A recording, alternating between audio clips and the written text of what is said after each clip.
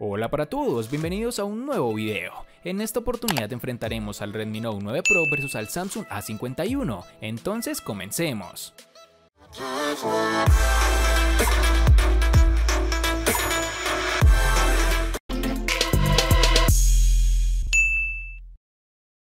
Antes de seguir con el video, te recuerdo que estamos sorteando un Redmi Note 9 Pro, un Redmi Note 9 y un Xiaomi Mi Note 10. Si quieres saber los pasos a seguir, dale clic en la tarjeta de la parte superior derecha que te está apareciendo en la pantalla. Ahora sí, continuemos. El elemento de diseño más distintivo y diferente que tiene este Redmi Note 9 Pro tiene que ser el panel posterior del teléfono. Atrás quedó el degradado y en su lugar obtienes un panel muy brillante con protección Gorilla Glass 5. Por supuesto, esto lo convierte en un imán de huellas dactilares y rasguños, así que mi recomendación es una funda protectora para evitar cualquier inconveniente. Una gran variante en este dispositivo es el cambio a un lector de huellas digitales montado lateralmente. Este está integrado en la tecla de encendido y a pesar de que en el pasado me topé con unos sensores que en esta posición son algo decepcionantes, este Redmi Note 9 Pro es extremadamente rápido para desbloquear el teléfono. El botón está colocado intuitivamente y es muy fácil de alcanzar, incluso con una sola mano. Sin embargo, lo que no es tan intuitivo es el control de volumen no segmentado. Se coloca demasiado arriba, por lo que alcanzarlo es casi imposible sin agarrar el teléfono con las dos manos o moverlo torpemente. En la parte inferior tenemos el altavoz, un micrófono, el puerto USB tipo C y el tan aclamado jack de 3.5 milímetros, el cual está en vía de extinción por si no te habías dado cuenta. La sensación en mano no es tan agradable para su gran tamaño, pero tampoco es decepcionante, yo diría que terminas acostumbrándote, eso sí, es de recalcar que este dispositivo es más pesado que otros de su misma gama. Si lo vemos de frente podemos apreciar que tiene unos marcos agradecidos y delgados, menos en el borde inferior, que es un poco más ancho, además de tener un agujero en la parte central donde se ubica el sensor para su cámara frontal, el cual debo reconocer me agrada más que el notch que nos ocupaba más espacio. En sus dimensiones tenemos 165.8 por 76.7 por 8. 3.8 milímetros de grosor y un peso de 209 gramos. Al igual que ha ocurrido en ediciones anteriores, este Samsung Galaxy A51 comparte algunos de los detalles de su diseño con los nuevos Galaxy S20. Su parte trasera, que es de plástico, al contrario de lo que puede parecer, cuenta con unos bordes redondeados y un diseño bastante atractivo. No es un dispositivo pequeño, pero es cómodo en la mano, y tanto su anchura como su peso contribuyen a ello. La parte trasera, además del módulo, destaca por ser bastante colorida, en un diseño con patrones geométricos que le da un toque distintivo. Algo que me llamó la atención de gran manera es el notch reducido circular, lo cual no resulta ser molesto y permite una mejor experiencia en su panel. La tecnología utilizada para esconder el reconocimiento dactilar debajo de la pantalla hace que el sensor no sea tan rápido ni eficaz como los lectores capacitivos que se sitúan en la carcasa trasera. Es algo complicado colocar la huella de manera que el teléfono no te pida un nuevo intento porque no termina de reconocerte, algo que de seguro se mejorará con actualizaciones o en futuras versiones. Este dispositivo por fortuna de muchos cuenta con jack para conectar tus audífonos y el puerto USB tipo C en la parte inferior, con lo cual mejora tiempos de carga. En sus dimensiones nos toparemos con 158.5 x 73.6 x 7.9 milímetros de grosor y un peso de 172 gramos.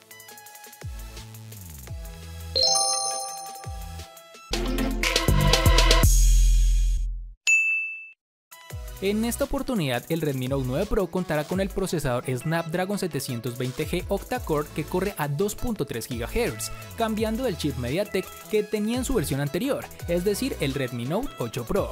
Con este cambio varía un poco su rendimiento, ya que según Antutu, el procesador de su antecesor era mejor. Este procesador del Redmi Note 9 Pro es acompañado de una GPU Adreno 618.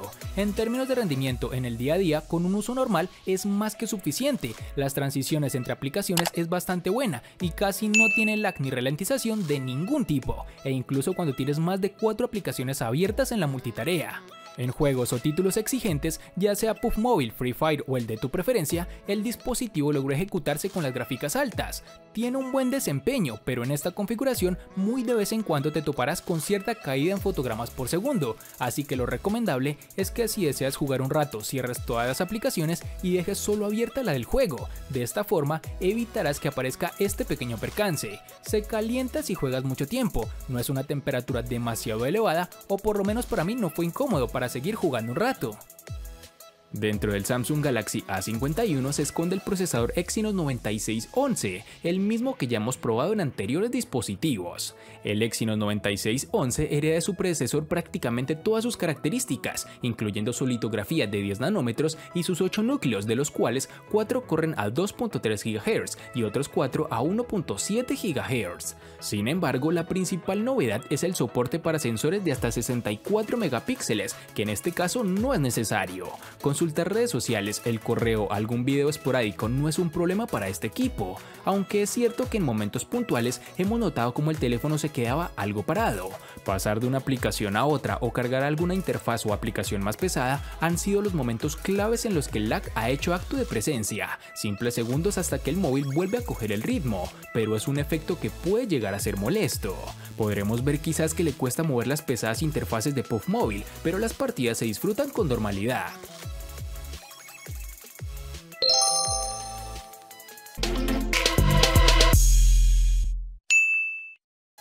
Algo gratificante de este terminal Redmi Note 9 Pro es su gran batería de 5020 mAh de capacidad, que viene acompañado de un buen cargador que permite carga rápida de 30 watts. Te da unos tiempos bastante buenos, superando incluso a otros de su competencia. La autonomía del dispositivo en pruebas de pantalla activa con un brillo máximo fue de 11 horas, casi exactamente la misma que arrojó el Redmi Note 9, siendo este un terminal inferior, pero que lleva la misma batería. Esta autonomía es más que suficiente para pasar del día de uso e incluso llegar al segundo con bastante carga, con un uso normal, navegando, revisando correo, redes sociales, etc. Pero si te vas a poner a jugar todo el día, obviamente eso va a caer de gran medida, ya que con esas configuraciones utiliza casi todos los recursos del terminal y por ende menos autonomía. Este es un apartado que saca la cara por los celulares de Xiaomi, ya que solo he visto este tipo de capacidades en esta empresa y en Samsung. Samsung ha optado por instalar una batería de 4000 mAh en este Samsung A51, con lo cual ha sido suficiente para pasar todo el día utilizando el móvil sin problema, incluso aunque ese día le des un uso intensivo, llega fácilmente al final de este.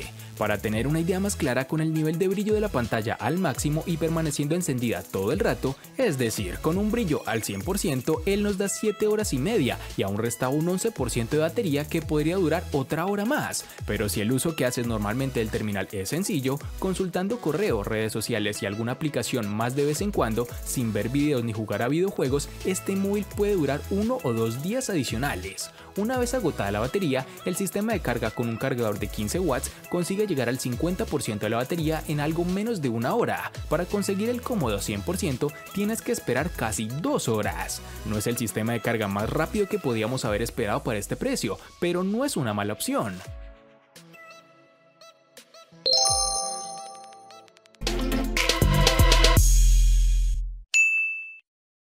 El Redmi Note 9 Pro cuenta con una pantalla IPS LCD de 6.67 pulgadas, con una resolución Full HD Plus de 1080 x 2400 y una densidad de 395 píxeles, protegidos con Gorilla Glass 5. El panel es correcto en cuanto a contrastes y ángulos de visión, sin que haya problemas de visualización en ninguna situación. Hablando del aprovechamiento del frontal, en este caso vemos que la pantalla ocupa un 84.6% del mismo, lo cual no está mal para un móvil de gama media, teniendo en cuenta que los marcos laterales y superior son relativamente delgados y que posee un agujero central que guarda la cámara frontal.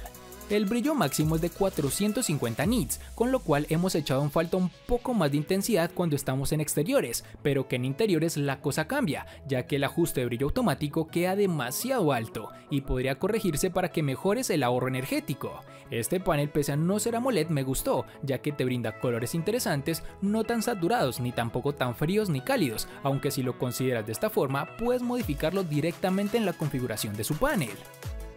La pantalla del Samsung A51 es de 6.5 pulgadas, con una resolución Full HD Plus de 2400 x 1080 píxeles y una tecnología Super AMOLED. Estamos ante una buena calidad y tamaño, con la cual se pueden disfrutar sin problema de todos los videos que queramos. Samsung ha demostrado en incontables ocasiones que sabe escoger muy bien las pantallas y que eligiendo un móvil de la marca disfrutarás de la experiencia. No es de las mejores pantallas que podíamos tener, pero para ser un gama media sin duda es uno de los puntos fuertes de este terminal. Con unos 405 píxeles por pulgada de densidad, la nitidez es la esperada en un móvil de esta categoría y satisfactoria. Viene bien calibrada a nivel de temperatura y color, con unos blancos ligeramente cálidos, pero no en exceso, y un nivel de saturación adecuado y esperado en este tipo de pantalla. Sin duda la ventaja de un panel AMOLED es el contraste que nos ofrece, y en este terminal no iba a ser menos. Los negros son puros del todo, pues el píxel queda completamente apagado, por lo que la experiencia a la hora de ver un video, una película o simplemente utilizar el modo oscuro en una red social es realmente estupendo, sobre todo por la noche.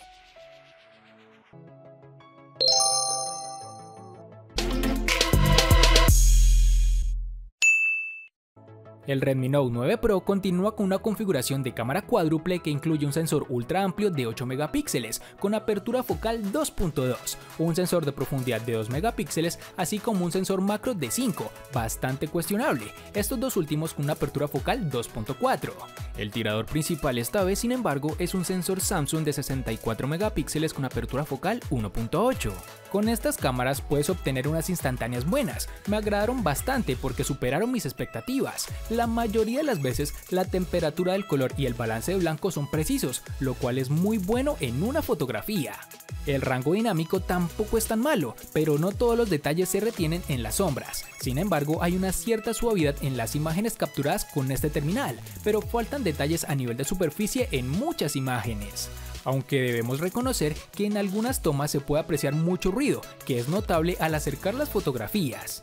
Mientras tanto, Xiaomi ha hecho un trabajo particularmente bueno al optimizar el modo retrato, y el teléfono hace un trabajo fantástico en la detección de bordes, creando un desenfoque de aspecto natural. Sin embargo, el modo nocturno es donde el Redmi Note 9 Pro se tambalea, pero no cae, ya que sus resultados me parecen correctos para su rango de precio.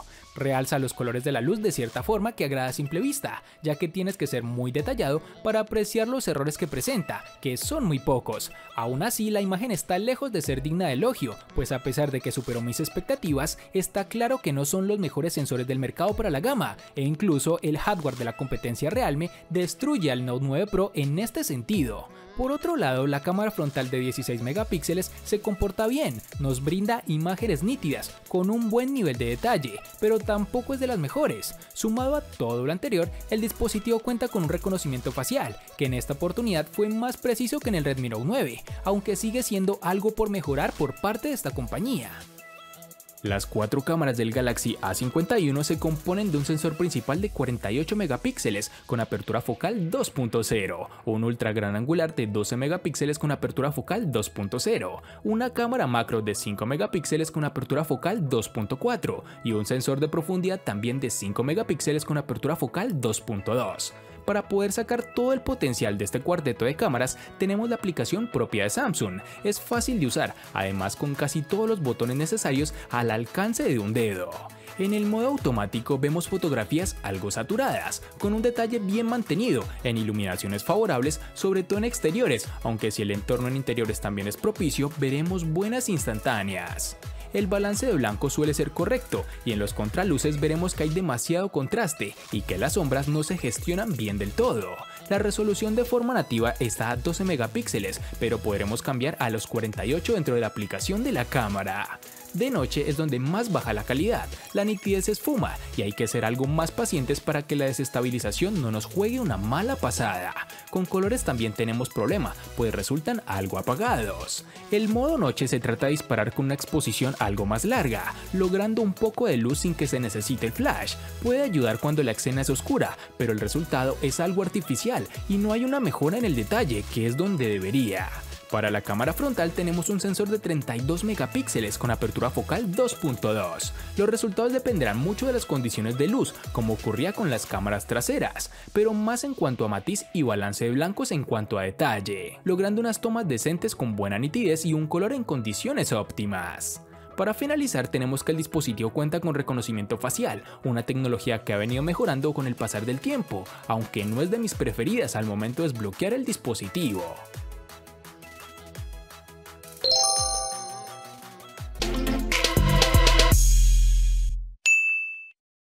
Para el Redmi Note 9 Pro nos toparemos con dos versiones, de 4 y 6 GB, aunque es más fácil encontrar su versión de 6, o bueno, por lo menos en Colombia. Para el Samsung A51 nos toparemos con tres versiones distintas, de 4, 6 y 8 GB. Para resaltar tenemos que en Colombia es más fácil encontrar su versión de 4 GB.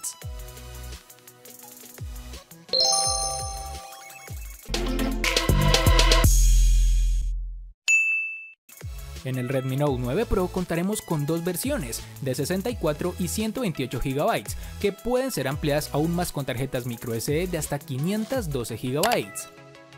En el Samsung A51 contaremos con dos únicas versiones, de 64 y 128 GB, que pueden ser ampliadas aún más con tarjetas microSD de hasta 512 GB.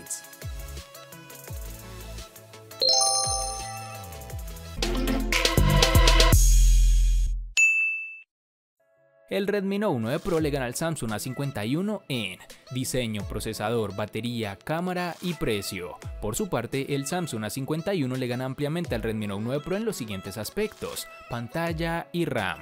En los aspectos que empatan son, únicamente en almacenamiento.